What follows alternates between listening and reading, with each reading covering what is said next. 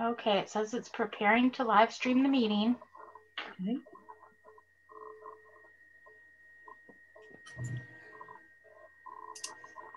Redirecting to YouTube. Okay. I think you should be ready to go ahead. Okay. Okay, Laura. Okay, thank you. Hi, I'm Laura Kasdorf. I did not grow up gardening, but I've been a master gardener volunteer with the Chippewa Valley Master Gardeners, Gardener Association for over 15 years. I garden in the yard of our town lot, and I also have a plot at the Chippewa Falls Community Garden at Marshall Park, and I've had that for 11 years.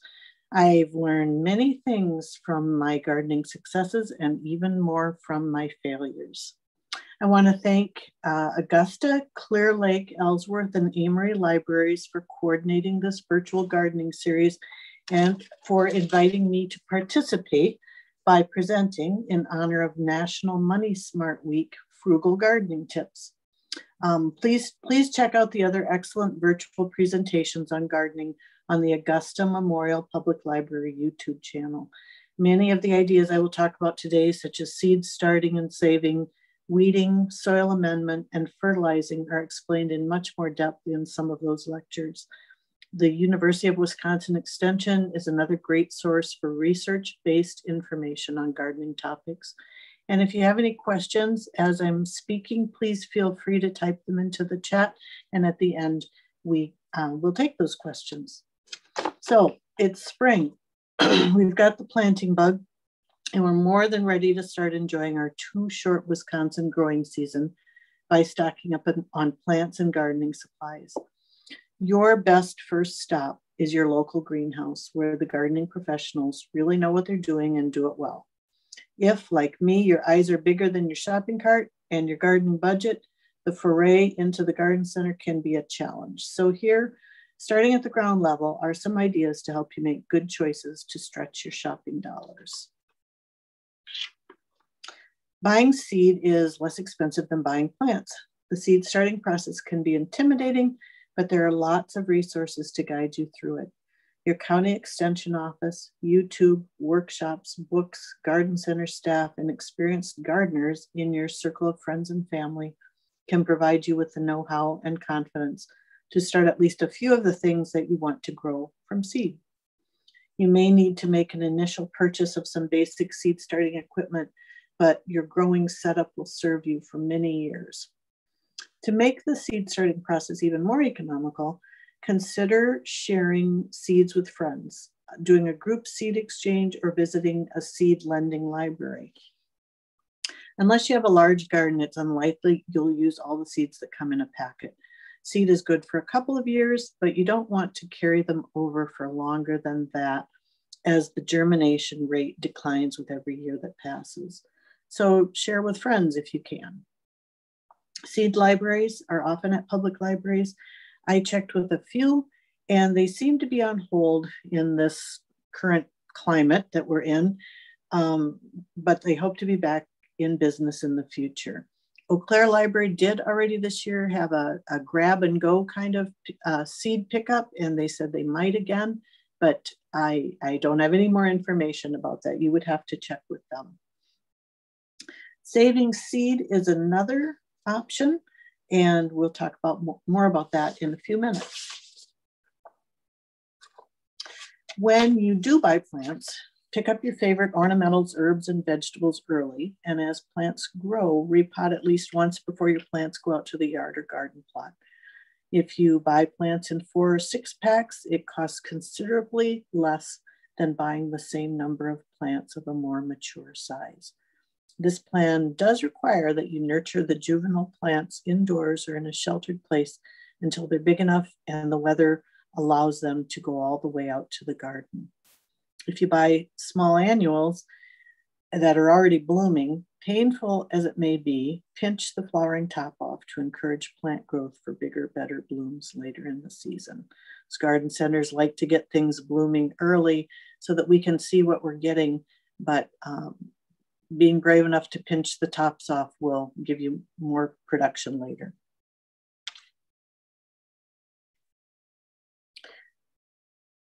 Um, you can purchase plants that are easily turned into more plants. Coleus and basil are two examples of plants that can be easily turned into multiple plants by rooting cuttings in vermiculite or a vase of water and then potting that cutting after it's developed a good root system. The parent plant will sprout new growth after you've cut some of the stems. And if you do it early in the season, you'll be able to add the starts to your garden by the time danger of frost is gone. This pretty little plant on my windowsill is Plectranthus, and it, it is a, an annual that I've had good luck uh, taking cuttings of and, and creating more plants. Not only can you increase the number of plants in your landscape by dividing, but you can, it, excuse me, it can provide you with filler for your pots and window boxes. The basic idea is to cut apart or separate roots of a large plant to make more plants. Hostas are great for this. They divide easily and quickly form nice new clumps of leaves. It's hard to hurt them while you're dividing them. Other easy and attractive options for division are cranesbill geranium, golden creeping jenny, lamium, bergenia, sedums, and even small shrubs. For several, several years, I've used hosta to fill out my large plant pots and window boxes. Um, a variety of colors, shapes, and sizes with the addition of a showy annual makes for a very lush and colorful container planting and really cuts down on the number of plants I need to purchase. I add one of the tall salvias, such as black and blue or Wendy's Wish, for a different texture in the pot, and they are very good at attracting hummingbirds. So perennials that you use in this way by in, in, in your containers can be put back into the garden before it freezes and they can overwinter there and then you can dig them and use them again next year. And by that time, they're usually ready to be divided again. The picture here is a border that alternates autumn, autumn joy sedum and garlic chives. And I'm sure that that started from just one of each kind of plants. And now I have enough to fill the length of a sidewalk along our garage. When warm weather comes to stay, pair houseplants such as spider plant, tradescantia, and begonias with flowering annuals for beautiful container plantings or display them on their own as shown here with this spider plant on top of the rain barrel. One of our neighbors has hanging baskets of a show-stopping combo of red dragon wing begonia, spider plant, and a purple tradescantia. They look like fireworks on his front porch and they're beautiful all season long. Using houseplants in this way is uh, another technique to save on buying lots of annuals, and it gives your houseplants a little vacation. When the houseplants first come out, make sure they don't get sunburnt. They probably aren't used to direct, direct sun like that. And at the end of the season, make sure you take them in before the nights get cold enough to damage them. You can look up more detailed tips for acclimating plants as they go from in to out and back again to help you with the process. Overwinter annuals for repeat performance. Geraniums are especially good at surviving the winter indoors, either by going into dormancy or by being placed in a sunny location and continually watering as a houseplant. More details for overwintering by either method can be found online. Coleus and begonias may also be good candidates for overwintering. If you have the room and the patience, give those and others a chance to hang in there until next year when they can go outside again, or take cuttings to root and pot for new plants. And this will help you not have to buy quite so many plants again in the spring. Seeds of um, many hybrid, non-hybrid, excuse me, Heirloom plants can be saved and stored for sowing in subsequent years. Seed Savers Exchange is a business in Iowa that has really good information about the process. If and they also sell heirloom and, and non-hybrid seeds. There, it's a great resource. If plants in your garden do seed themselves, let them grow where they fall or transplant their volunteer seedlings to other locations in your garden where they might thrive. Brown Eyed Susan, Grandpa Ott Morning Glory, and Husker Red Penstemon are a few garden plants that readily come back year to year from seed in my garden.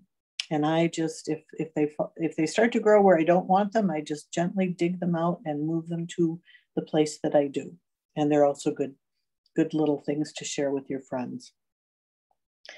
Selective deadheading can control reseeders if they're a little too zealous at creating new plants. The garlic chives in the previous picture, for example, is a very prolific reseeder. If I do not deadhead them, I have had garlic chives growing in every crack of my sidewalk and patio stones. So I, I try not to make the mistake of letting that happen. Heirloom vegetable seeds can also seeds can also be saved for next year's crop. Some saving is as easy as popping open a pod to retrieve the beans inside. Others, like tomatoes, take a bit more effort, but with a minimum of instruction, saving the seeds is completely doable. The Garden of Eden beans, pictured here in the top picture, were given to me by a friend over 10 years ago. And every year I grow plenty to eat, eat as a green bean, dry to eat and to share and plant again.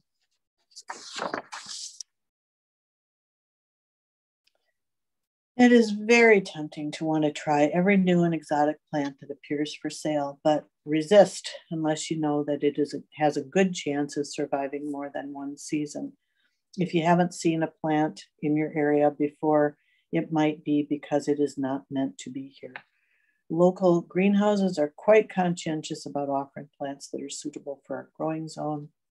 Big box pop up garden centers, not so much. Their distributors are likely providing plants to stores in a region that crosses a spectrum of climates. So read the plants tag, look up its growing requirements, and then decide if you want to invest in a plant that may or may not thrive in your garden.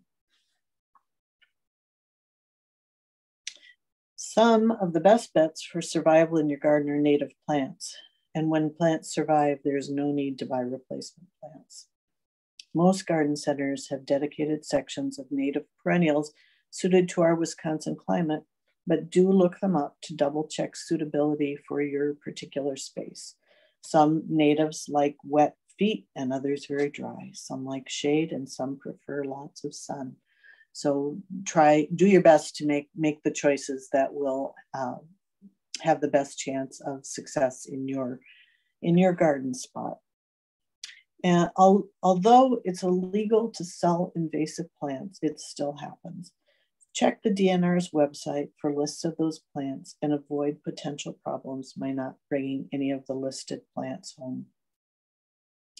In addition to being hardy, native plants have the added value of attracting a diverse variety of butterflies, bees, and birds to your backyard, and usually once established require a lot less watering than other perennials. There are no magic tricks for eliminating garden chores, so I encourage you to not waste your gardening dollars on items that make those promises. Gardening is fun, but there is a little effort involved. For a successful garden, stick with elbow grease and high quality, time tested tools rather than falling for the newest as seen on TV offer. Even if you can, act now and get a second one free. Investment in a small collection of sturdy tools and equipment is your best bet. I love my Fiskars shears and pruners, garden tub trugs, stainless steel hand trowel, and my nitrile gloves along with a spade for dividing plants and digging holes and a couple of types of rakes, I am pretty much set. There are many ways to turn what you have on hand into what you need. Before I discard anything, I try to think how it might be repurposed in the garden. Here are some examples on the screen, and I'm not going to go over every one, but um, they're just some ideas. And Believe me, Pinterest is loaded with more. It's not strictly gardening, but I have many items I've gotten rid of in the house that work well in the garden um, as decoration and enhancing the plants. Metal wall sculptures can hang on the fence. Glass lamp globes perch on fence posts. Broken pottery can be tucked under plants. And then there is the classic radio flyer wagon as picturesque portable nursery.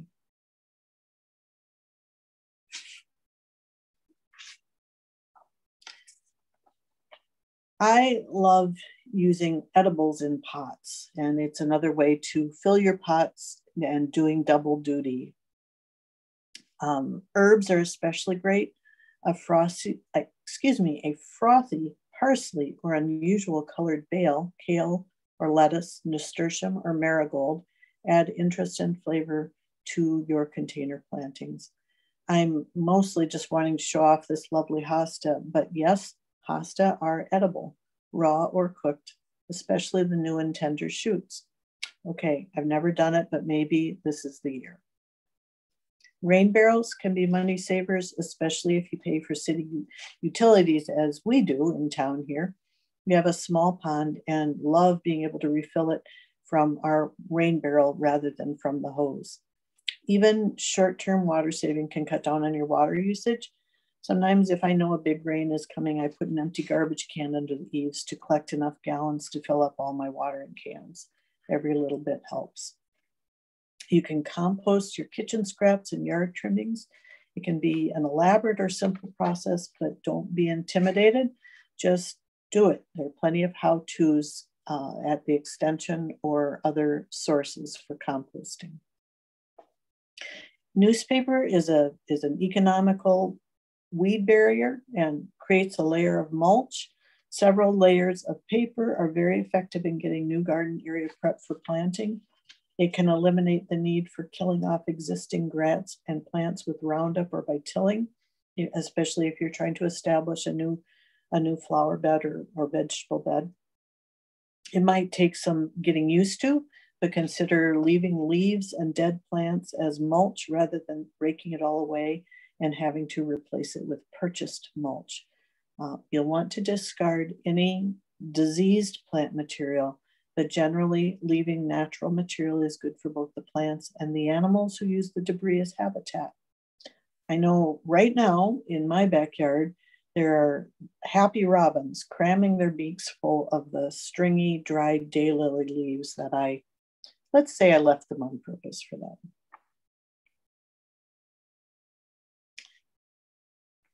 Um, some other money savers include mulch and black dirt from city yard waste dumps. I've used those resources in the past, and now I, I'm being more careful because we have discovered the invasive jumping worm in Wisconsin, and even in Chippewa County and I believe Eau Claire County. You should check with your county extension agent to find out if jumping worms have been detected in your area. Uh, these worms and their co cocoons may be transported with soil of that type and mulch or can be transported with dug plants. So be especially careful of sharing plants or buying them at plant sales from outside your area. Another thing to watch for from plant sales is aggressive or invasive plants. Some plants are easy to share because they multiply and spread very quickly, but they can be what we refer to as garden thugs. They take over, and sometimes that is not, not worth the small price you paid at a, at a small plant sale if they cause you a lot of trouble. Every spring, when I resume my battle with creeping bellflower, I regret all over ever having accepted it from a friend many years ago. My rule of thumb is if it has creeping in its name, you probably don't really want it or you want to think long and hard about it. Use good practices to have healthy growing conditions in plants. And if you have a problem, learn about it. I have been guilty of randomly adding fertilizer or using pesticides without really knowing if it was the right thing to do. Get a soil test. If a pest shows up, identify it. Learn about integrated pest management. And here's an example. First of all, in the photo, there's an ant, and that ant is, is just going after some sap. It's not going to harm your plants. And uh, and it has a good relationship with this peony bud. But another um, situation I had in my yard years ago, I found that a parsley plant had been almost completely eaten. It seemed like overnight. The culprit was still clinging to one of the few remaining stems.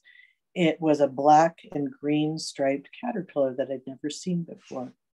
I was very annoyed, but decided to take the time to look the creature up before just taking drastic action. And I am glad I did, for now I know that parsley and dill are the host plants for the black swallow-tailed butterfly. I was so glad I did not wipe out the pest that would soon become a beautiful and somewhat rare in our landscape pollinator. Parsley grew back, of course. Now I plant dill and parsley every year with the intention of attracting butterflies. It's good to know your limits, but it's also good to support other gardeners and farmers.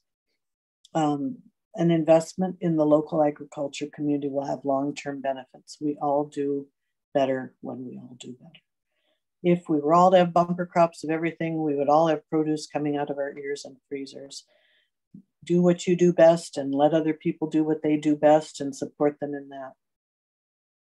This little tomato is a Juliet that I like to grow every year. And they grow abundantly for me, but I struggle to grow those big, beefy, slicing tomatoes. Um, so I'm very happy that others can, or I would never be able to indulge in one of the true joys of the harvest season, a decent BLT. Uh, I picked these little Juliets early to get them before the naughty chipmunks come along because they seem to like to take, to take a bite out of each and every one of them.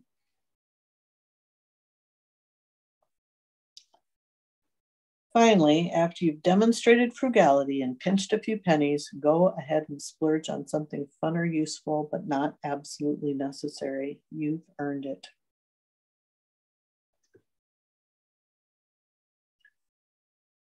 Thank you for your time. This talk was based on my own limited gardening experience, and as they say, your results may vary. Being a master gardener has taught me how much I don't know, but excuse me, but it has put me on a path to knowing more. I'd encourage everyone to get involved in a Master Gardener program to grow what you know and help others grow too. Here are a few resources that I'll leave you with to help you find more information about some of the ideas and methods I've touched on today. Don't forget to check out the other videos in this gardening series. And remember, when you have questions about any gardening related topic, calling your county extension is a very good place to start. So thank you again for your time and happy gardening.